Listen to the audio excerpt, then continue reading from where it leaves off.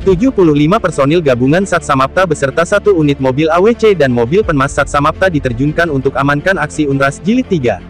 Tim Liputan Abidosnews.com, Polres Langsa melaporkan.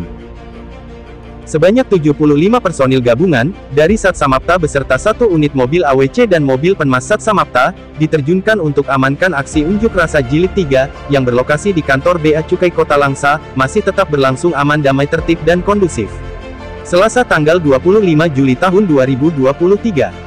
Untuk diketahui, belasan pendemo yang mengatasnamakan dirinya, Aliansi Elemen Sipil Menggugat, atau AESM Kota Langsa, selasa siang itu kembali, melakukan aksi unjuk rasa ke kantor Bea Cukai Langsa.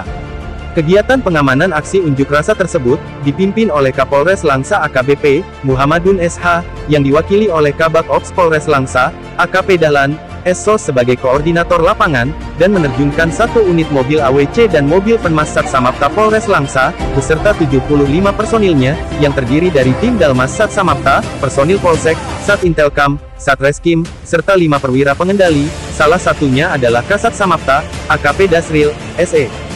Pantauan abidosnews.com di lokasi itu, sebelum melaksanakan pengamanan, para personil gabungan Polres Langsa, diberikan arahan terkait pengamanan.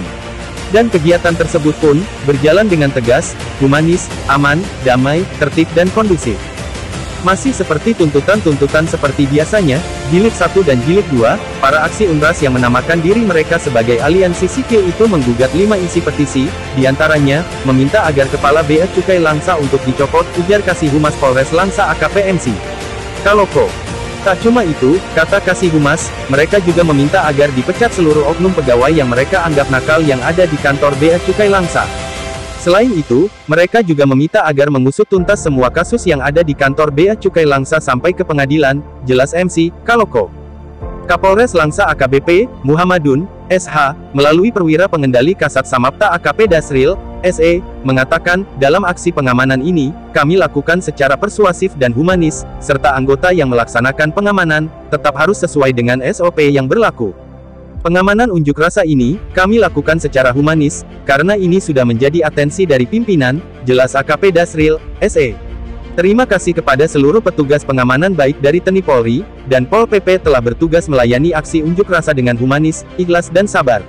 Sehingga situasi berjalan dengan aman, damai tertib dan kondusif, ucap Kasat Samapta, AKP Dasril, SE. Tim Liputan Abidosnews.com, dari Polres Langsa, melaporkan.